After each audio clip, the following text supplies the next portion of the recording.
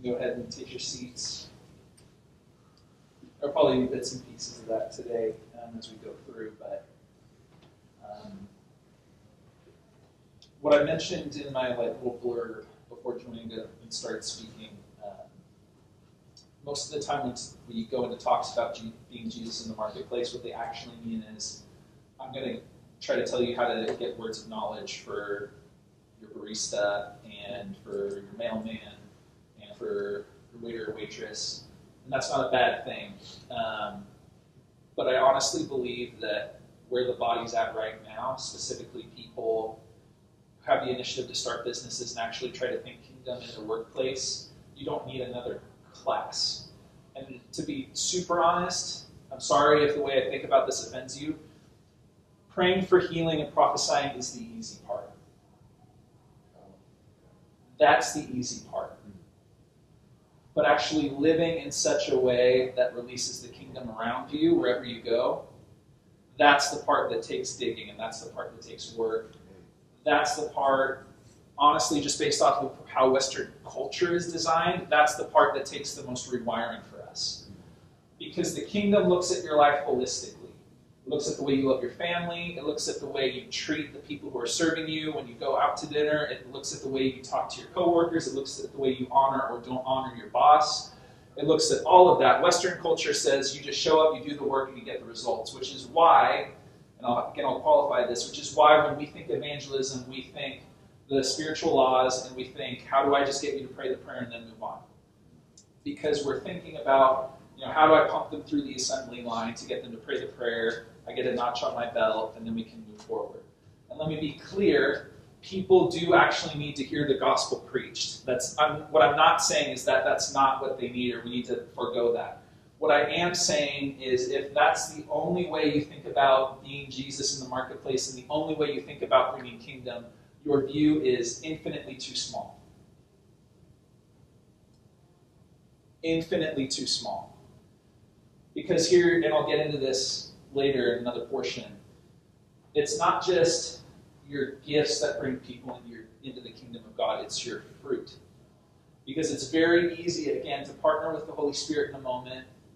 Powers released, somebody gets healed, the prophetic word gets released over them, they encounter the love of Jesus. That part is simple, but you have to think about what are you actually inviting them into. We have a bunch of orphan sons and daughters in the kingdom right now because there were a bunch of people, and again, not knocking, this is just the state of where things are at right now. We had a whole move of evangelism that was just about here's the tract, pray the prayer, praise God, you're not going to hell, let's move on to the next one. And I praise God for those ministries because, again, the family has to grow somehow. But we have to, if we start thinking about kingdom, you're not all of a sudden just concerned with whether or not that person prayed the prayer. You're now concerned with their growth and actually their ability to move forward in the things of God.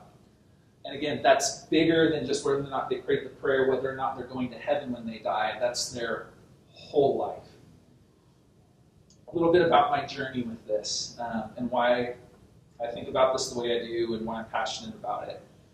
Um, I went to a Christian school K through 12, and then I went to uh, William Jessup University just up the road uh, to get my degree in theology. But there was a brief period of uh, time, like two or three years, where I was going to uh, junior college, American River, and I was just getting general ed stuff done because I love William Jessup, but it's crazy expensive, and I don't need to be paying that for, for math classes. Um, right around the same time as I started doing that, healing and the prophetic started to emerge in my life. Simultaneously, somebody by the name of Todd White started getting really big. You guys know who I'm talking about when I say Todd White? Post videos online, still going hard after Jesus. He's a wild guy. Everywhere he goes, it's a word of knowledge. Somebody's getting healed, and that's amazing. What that, what I perceived incorrectly though, was that that is the only way to be Jesus in the marketplace, and that is the only thing. Like evangelism only looks like that. So what that did for me, again, there's other stuff that goes into this as a firstborn, little bit of ungodly like over responsibility that comes in. I'm walking in to American River College every day, And it goes beyond me just asking, Lord, who do you want to speak to? Who do you want to touch? And all of a sudden now I'm having anxiety just about going there because I'm walking into the sea of people and I'm like, ah, everybody's my responsibility and I gotta like all this stuff. So that's why I feel passionately about the kingdom of God and being Jesus in the marketplace has to be bigger than just that. Um, because I, I see what happened in my own heart in that season of my life, and like just again, it says you'll know a tree by its fruit. That way of think, that way of thinking about kingdom, that way of thinking about evangelism, there was some good stuff that happened, but in me it bore the fruit of anxiety. So there has to be a bigger, more holistic, peaceful, Holy Spirit filled way of looking at this whole thing. So, what I'm going to present to you guys today, um, again, not a lot of technique, not necessarily a lot of here's how you do X, Y, and Z and get the results, because again, I think thinking that way is sort of part of the issue that we're here, uh, that brought us here. But when you talk about thinking missionally, when you talk about thinking kingdom, you have to, like, the, the question gets begged what mission is the Father actually on? Because again, we, we think mission and we instantly think, you know, I'm on a missions trip, playing with orphans somewhere, or I have to be like giving somebody a tract, I have to be, you know, giving them the spiritual laws. And again, that's all good. The mission that the Father's been on since Genesis is much bigger than that. So I'm going to be going through just like very fast, sort of a big overview of Scripture, but I want you to kind of like get the idea of what mission is the Father actually on. So you go to Genesis, right? Joe was talking about it. He creates humanity and he gives them dominion. So here's what we don't often realize about the creation story is that Eden was this specific plot of land where there was perfection, where there was the presence and peace of God. And then he then gives Adam and Eve the command, you know, be fruitful, multiply, fill the earth, and subdue it. What that means is that while there was peace in the presence of the Holy Spirit and the rule of God in that garden, which was Eden, that means that it was actually their job to grow and to expand, to actually expand the borders of Eden to the rest of creation. That means that the rest of creation didn't look like Eden at that time. It was Adam and Eve's job to extend that. Okay, enter the fall, that gets messed up. God comes to a guy named Abraham gives him this promise. And what was key about that promise, and I think we kind of skate over this most of the time, is that in that initial promise that he was giving to Abraham, he said, I'm going to bless you, and through you, all the nations of the earth will be blessed. All right, so there's a specific blessing that God gives to one person, one individual, one family group. And then that blessing is actually supposed to spread out from them. That's cool, Aaron. What sort of blessings did God give Abraham? It wasn't just spiritual. It wasn't just that they had a relationship with the Holy Spirit. It wasn't just that they had a relationship with Yahweh.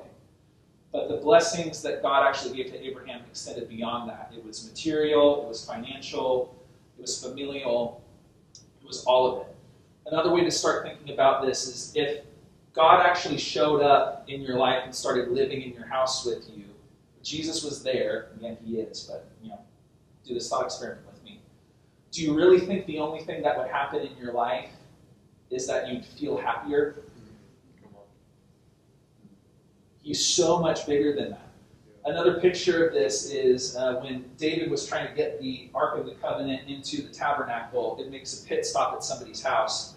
And then the word says that that guy who was housing the tabernacle as it was making its journey or housing the um, Ark of the Covenant as it was making its journey to the tabernacle, the, the word says that there was so there was abundant blessing on that guy's house. Fast forward even more. Israel as a whole, they now become a nation, and God gives them the same promise, the same idea that He gave to Abraham. I'm going to bless you, and through you guys, all the nations of the earth are going to be blessed. Fast forward to Jesus, fast forward to the bride. It's the same thing. I'm going to bless you. I have a relationship with you.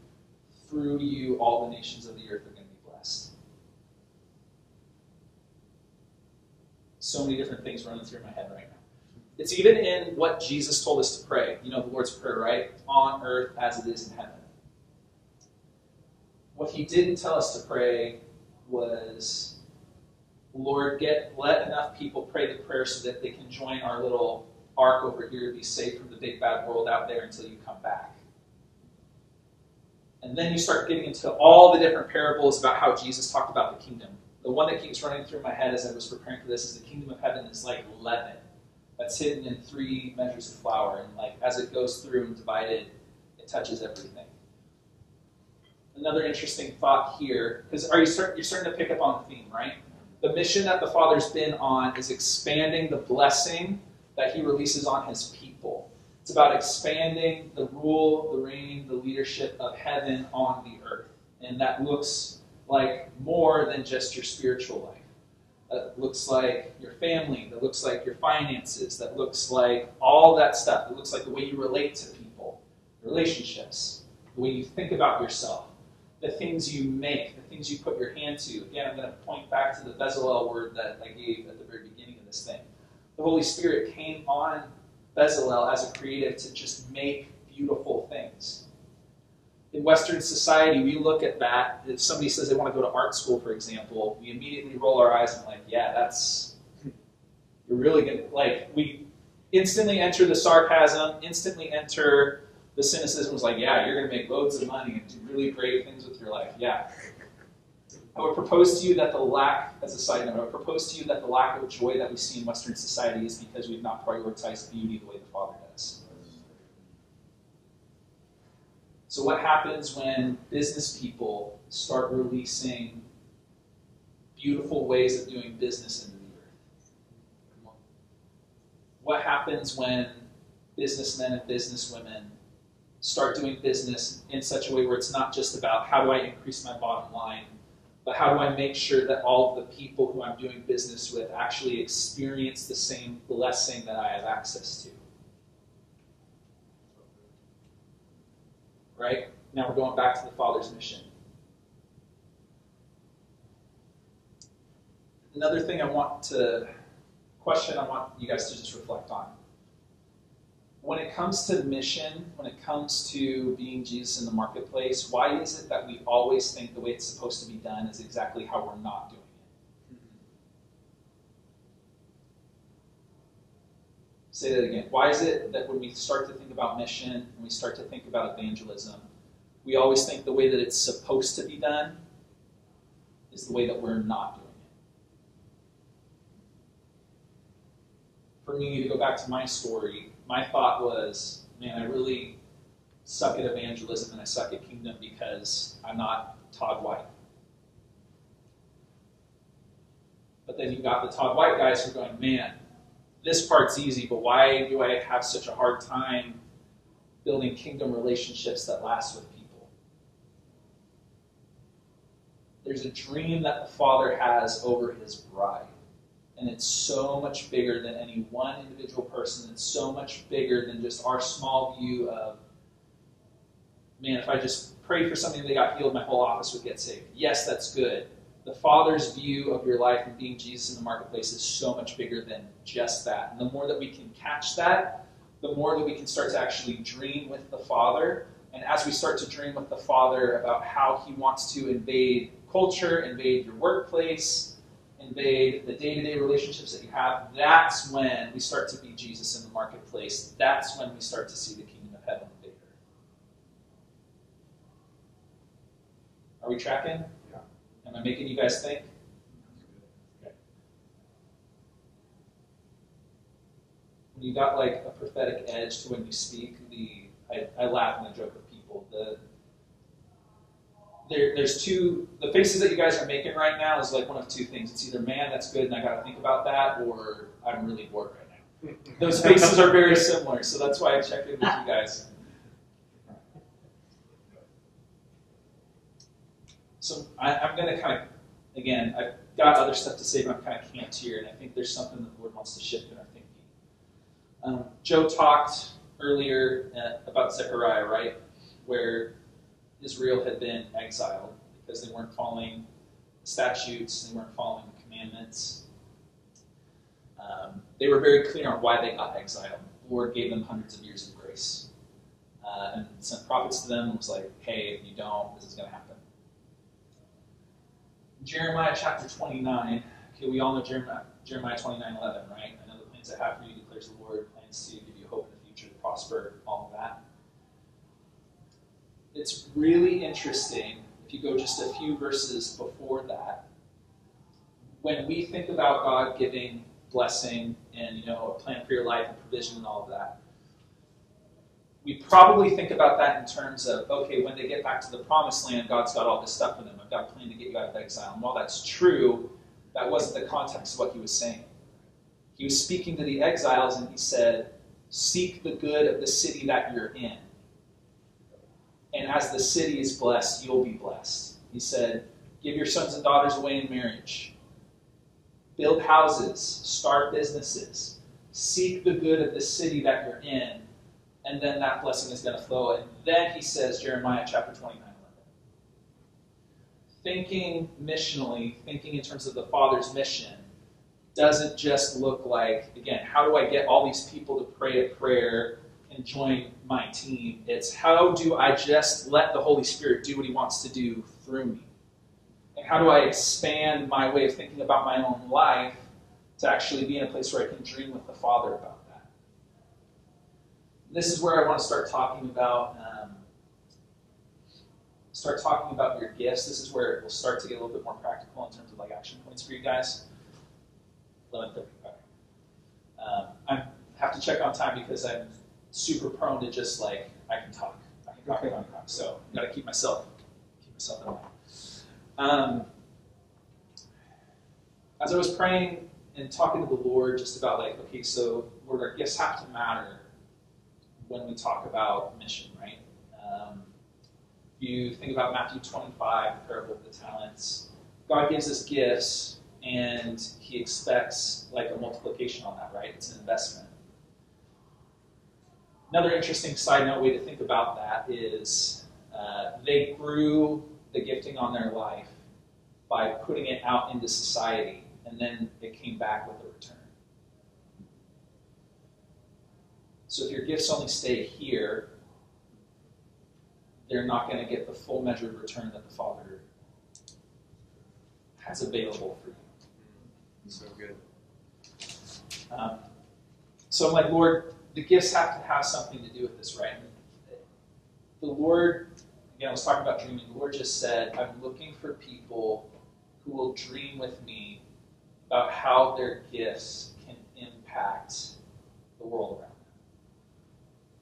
I'm looking for people who can dream with me about how their gifts can impact the world around them. Here's some stuff that I wrote down. I'm looking for people to dream with me around what's possible with the gifts I've given them. If you have a gift of discernment, dream around like what could that discernment do for life decisions and business deals that I have to make and in the friends and family that I interact with. If I have a gift of hospitality, what would it look like to create a culture where people actually feel valued and seen? More than just I'm the person who helps set tables out and chairs out when there's a church function. What if you actually started to dream with God in a culture where people feel super busy, feel super rushed, and they're always bouncing from one thing to another. And they people, let me tell you, people can feel when they're on the assembly line. It's so rampant in our culture. People can feel when it's just like, okay, I'm here to do the thing to get the certificate that says I did the thing, then I move on to the next thing. What happens if you have the gift of hospitality and you actually start to dream around what if I can use this way that God's wired me to be able to make people feel welcome, seen, and included to pull them off the assembly line? What would that look like? What would that do to my business? If you have the gift of mercy, how can I, how can I dream with the Father to put the heart of God on display? If I have the gift of generosity, how can I dream with the Father about the way that I can give into people's lives that doesn't just make them feel better about, like, man, I've got this gift and that was really cool? What if we started to dream with the Father around God, how can I give so much that it actually has generational impact on the people that I'm giving to? Side note: How do you start to generate that much income? Anointed business people who do more than just get on the hamster wheel, right? If you have the gift of faith, how do I engage the gift of faith for the needs of someone who doesn't know God? It's really easy for us to put the gift of faith in the context of, man, I want to see healing, I want to see breakthrough for somebody, um, somebody in the church. But how? What would it look like if, you know, you're in a meeting with your boss and there's these impossibilities that are starting to come up, things in the market aren't looking great, and you actually got a gift of faith on you to actually start to address those things in the spirit and say, God, I'm believing that you can actually bring a breakthrough in my workplace, bring a breakthrough from my boss, bring a breakthrough in the business. Again, what's the mission that the Father's on? That the blessing that's on you would flow through you and actually touch the rest of society around you.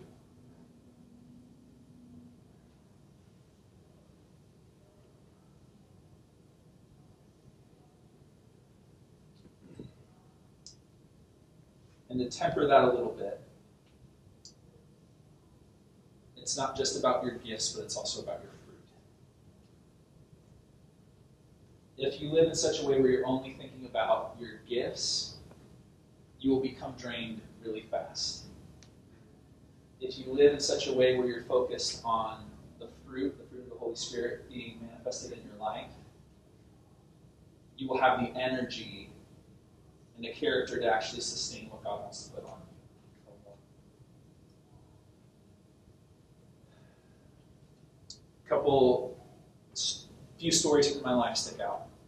So during that same season of my life, I was talking about where you know healing was starting to emerge, the prophetic and all of that, and I'm just sort of like kid in a candy store. Like this has got to work everywhere. Let's try it. So, you, any of you guys remember Radio Shack? yeah. I worked there just before they took the nosedive. Um, not my favorite job, but I, that's where I was working at the time. Um, and I just, there was one, yeah, it all happened in one night. Um, so working at the store, there was me, an assistant manager, the manager, and then two other employees.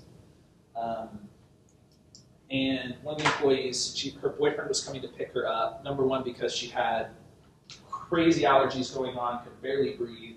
But she also had really bad scoliosis um, to the point where she was just in enough pain where she's like, I, I gotta go home. Um, so her boyfriend's coming to pick her up.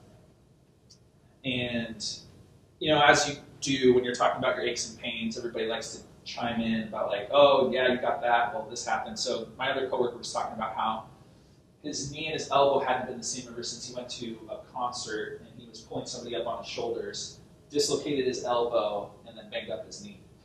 Um, yeah, not fun stuff. Um, so I'm there in that moment, and I'm going like, okay, we're gonna, we're gonna do it. We're gonna do it. We're gonna pray for him. Um, so just as coworker number one is getting ready to leave, I'm like, hey, this might be weird. Can I pray for you super fast? She's like, uh, yeah, sure.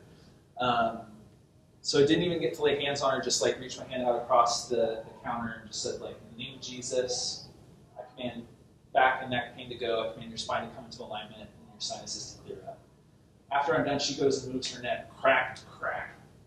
And then one of my favorite things is the look on people's faces after they know God did something. It's like a combination of jaw hitting the floor and going ghost white. Uh, she makes that face, so I'm like, he just did it. Um, and I said, okay, now try to take a breath through your nose. And she just instantly, like, again, she hadn't been able to breathe all night. And she just like has that look on her face, and she's like, "I'm gonna go." um, and my coworker is standing next to me while all this is happening, and he just kind of has like you know when people sort of do like the nervous laughter. He's got that going on. He's like, uh, ah, I don't know what's happening. Um, so then, but at that point, there's blood in the water, right? So I'm just like, your turn. Um, so I pray for him. His elbow gets healed and his knee gets healed. Later on, it was either that same night or it was a couple nights later.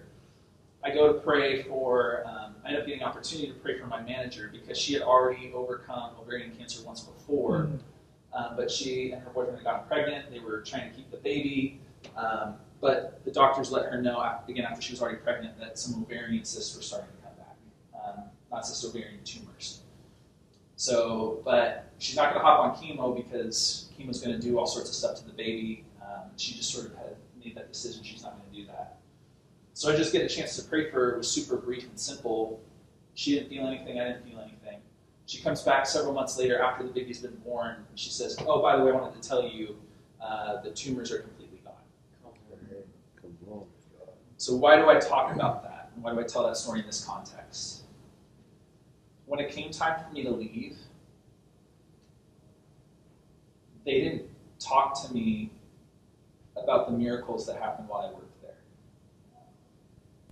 The reason they said they were going to miss me was because I was kind, because I paid attention to people, and because I had a lot of peace.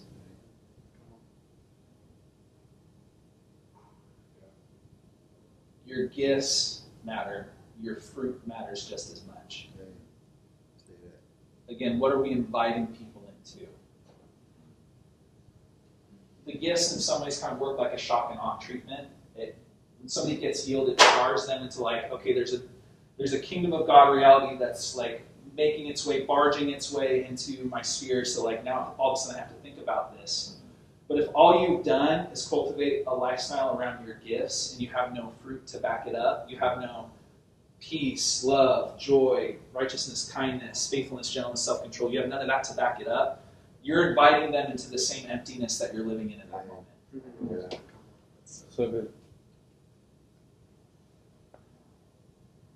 Gifts and fruit. Gifts and fruit. And again, it just like it flows back into the what we've been talking about, the mission of the Father, right? The Father's desire is to bless every part of your life. Not just your ability to do cool things to get affirmation from people.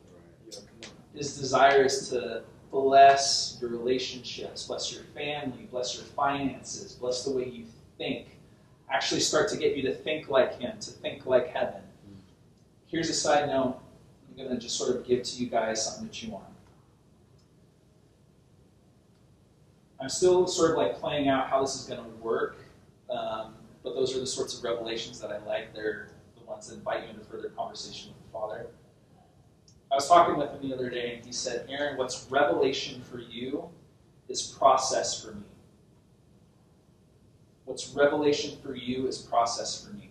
Meaning, when God comes and He drops something on you, like, hey, go do this, or like, man, I didn't know I could think about things that way, that already existed in the heart of the Father. That's not just this random thing for Him, that's just how He is and how He does things. So if God gives you a revelation for your business, a revelation of how to treat your employees, a revelation of how to do a certain business deal, a revelation of how to interact with your boss, that's more than just a one-time, hey, I'm going to do this and this cool thing is going to happen. He's actually inviting you into, this is how you used to think about it. This is how I think about it. What would it look like if you actually started to think like me? And that's the other invitation that comes with being Jesus in the marketplace. It's not just how do I get results, it's how do I let God shape and form me into the type of person that I know how to let that blessing that He's given me flow through me and disrupt everything that's going on around me. Aaron, this is super good stuff, but you're being super hypothetical right now. Give me some concrete. I have some concrete for you. Um, I am super blessed right now to work for a company based out of Sacramento called WebConnex. Um, and just to give you a little bit of an idea of where this is going, um, one of the co-founders was actually on Shawn Bolz' podcast two different times because of the culture he's cultivated in the company. What does that mean? So we talk about culture of honor a lot in the church, right? We talk about, you know, what does it mean to honor people, honor their gifts, all of that, and that's super good. Most of the time, it's just lip service. It's not a bash on anybody. That's just where it's at. So this co-founder, he and his buddy, again, they're both believers. When their business started taking off, um, and they talked about wanting to honor people, uh, and also, they have a way of thinking. Um, I'll just release this to you guys.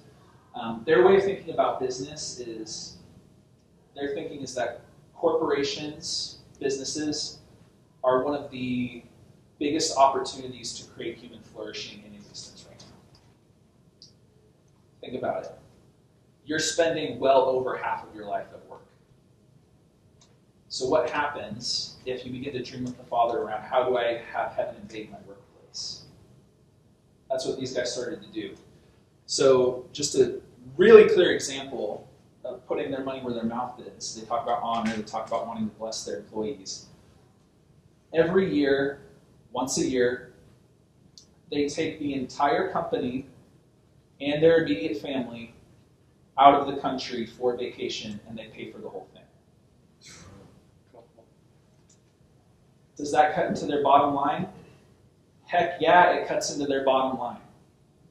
You're talking tens of thousands of dollars to be able to do that. We're going to the Dominican Republic this year. The iron? yeah, I know.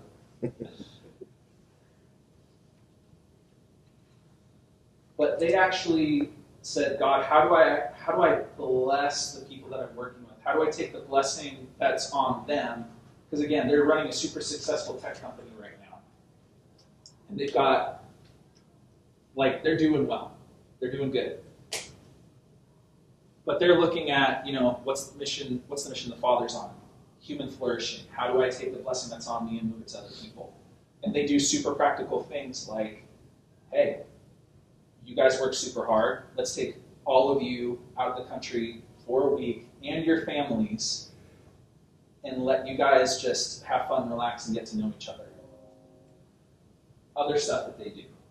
Uh, so we've got health insurance, right? Uh, they have actually a fund, an emergency fund, where the company puts away money to where if somebody incurs a big medical cost that's out of nowhere, they can actually talk to the co-founders, and the co-founders have money set aside to actually cover medical costs for people. One of our one of my coworkers just had her son a little over a year ago, and there were complications, and then you go to the hospital, get all this other stuff done. Co-founders came in and said, "Hey, we've got this fund, and we've got bills. Don't worry about it." Wiped out the whole thing.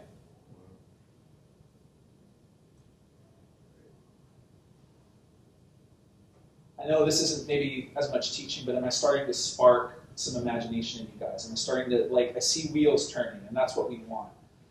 Um, there is no shortage of opportunity to bless people. If you think there is, then I'm just going to tell it to you like it is. If you think there's a shortage of opportunity to bless people, then you have an orphan way of thinking. And we can pray for you. But that, is, that needs to change. There's actually no lack in the kingdom of heaven. There's actually no lack for the Father. And that's what you have to give from.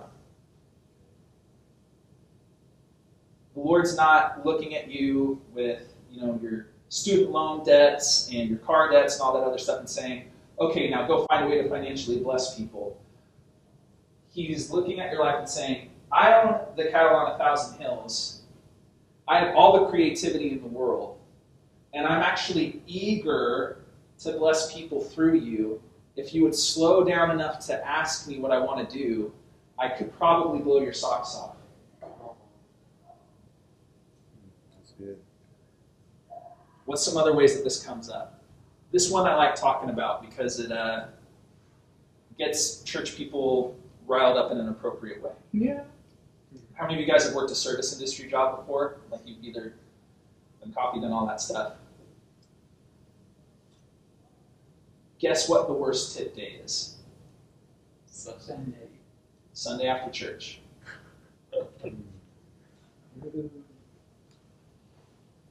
That should make you mad.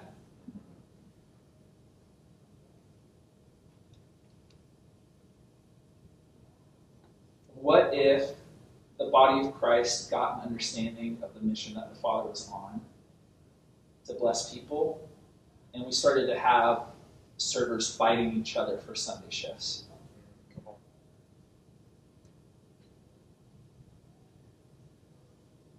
It just takes like a little bit of dreaming and a little bit of planning. I know of people who they've just made a decision as a family of we won't go out to eat unless we're going to tip our bill. And I'm not saying you got to start there, but I can tell you from personal experience of having been able to do stuff like that a couple of times, even if it's not a crazy amount, people are so used to being overlooked, so used to having things demanded of them, that you taking one moment to say, God's blessed me, let me bless you with what I've got, that will blow someone wide open for the gospel.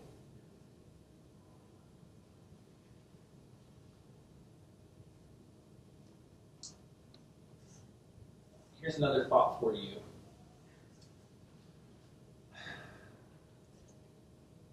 Our, one of the ways we can tell our thinking is broken around this topic, around being Jesus in the marketplace, is we are uber compartmentalized when it comes to thinking about mission. We think, I'm either going to go do the mission thing or I'm going to go home and not do the mission thing.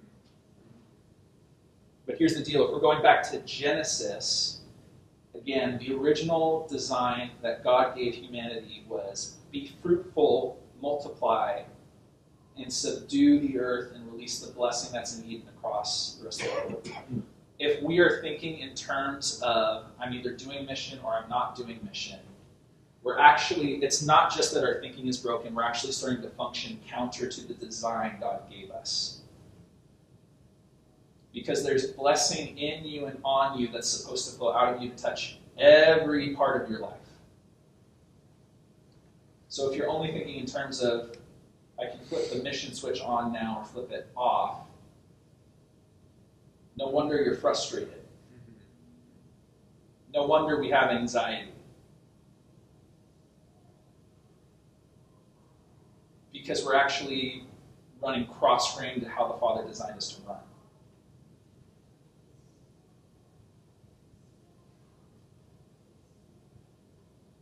Looking through my notes, see if there's else in my head. So I want us to take a second. Um, we've got about 10 minutes left here. Again, lots of big concept stuff. I'm trying to give you guys stuff to go home and chew on and pray about. But to get down to being super practical. Um,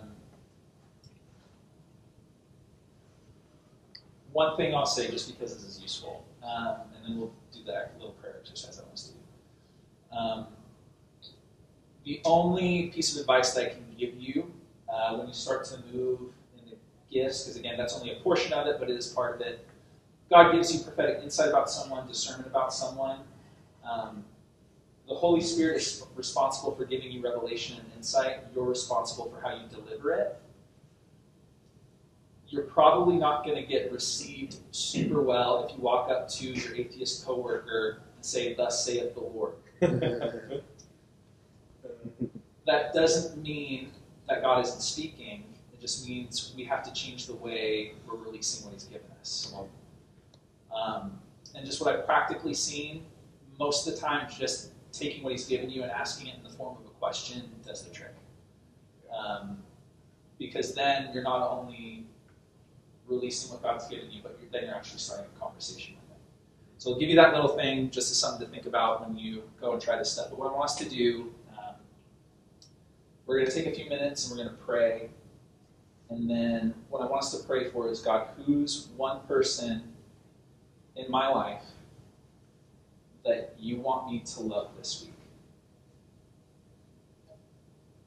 And I'm intentionally using very open ended language because what I don't want us to get into is that, again, that trap of being Jesus in the marketplace only looks like prophesying, healing the sick, casting out demons. God, who's the person either at work, home, who is it that you want me to love this week? And just that little bit of intentionality, if we can start to do that on a consistent basis, we'll start to see those seeds bloom. Another thing I want to encourage you with, and then I'll shut up because I can keep talking. Um, Jesus, in all his parables about the kingdom, he usually talks about the kingdom like a seed. The kingdom of heaven is like a mustard seed that blooms. The kingdom of heaven is like leaven that's hidden in three measures of flour, and then leaven's the whole thing. Part of what we have to get really good at is understanding um, living in the tension of God doing big, explosive things right now, but also living in the tension of the patience that He asks us to have. The kingdom isn't just now explosive, all that stuff. It is that, but if you only live in that, then the moment God asks you to wait and let Him water the seeds that have been planted, you're going to get really frustrated. I can tell by everybody's reaction, I think we probably all been there. So I'm just going to pray for us, um, and then we're just going to have some time um, to just ask who that person is. So, Holy Spirit, for starters, God, we just um, repent of broken ways of thinking around mission. Father, uh, we repent for thinking that uh, the only way you want to use us in the marketplace is just through signs and wonders. Um, and for those of us who think we can't be used that way, we repent even of thinking of thinking like that. Um, but God, we ask that you would begin to change the way we think, that we would actually start to dream with you about how can we bless people, how can we take the blessing that you've given us and release it to the spheres around us, that we could actually see the kingdom of heaven invade that way. Um, God, I'm asking for boldness, and I thank you for the creative anointing that you're pouring out in this season. And I'm asking Jesus, um, several of you already have the face of the person in your head right now who you're supposed to, you're supposed to bless. God, I'm asking for creativity. I'm asking for um, also just that you would take the artificially high stakes we put on this stuff. Um, your word says you don't take a light and put it under a basket. A light doesn't have to try very hard to shine. We just have to not hide what you did. So, Father, I'm asking that you would give us grace to know who, what, when, where, all that stuff.